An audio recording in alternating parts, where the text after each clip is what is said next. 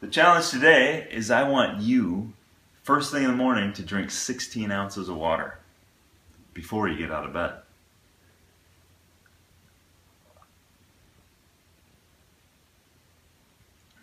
Good luck with this challenge.